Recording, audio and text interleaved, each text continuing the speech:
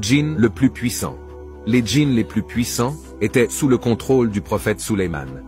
Ce djinn fait partie de la seule catégorie de djinns mentionnée dans le Coran, qui est l'ifrit. Ils sont rares, mais très puissants. Allah nous a donné un exemple de ce que l'élite parmi eux est capable de faire. L'histoire se déroule à Jérusalem dans un temple du prophète Suleiman. Les temples de Suleiman sont connus pour être les plus exceptionnels, puisqu'ils ont été construits par des djinns. Allah lui a donné le miracle de pouvoir contrôler les djinns.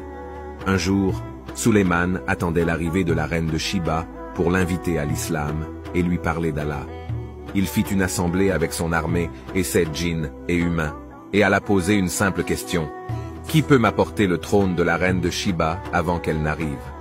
Une huppe, qui avait connaissance de l'ampleur du trône de Suleiman, a dit concernant la reine de Shiba qu'elle a un grand trône. Un ifrit parmi les djinns a dit, je vais te l'apporter avant que vous vous levez de votre siège. Je suis fort et digne de confiance. Par cela, il implique que Suleiman le libère de sa poigne pour lui permettre d'accomplir cette tâche. Ce djinn est capable de traverser la péninsule arabique, portant un trône gigantesque en quelques millisecondes. Les ifrits sont les plus puissants des djinns. Les ifrits ont la capacité à se téléporter et à transformer la matière en énergie et à la retransformer en matière. C'est ainsi que ce djinn a porté le trône de la reine de Shiba. Merci d'avoir regardé. Abonnez-vous pour plus de contenu.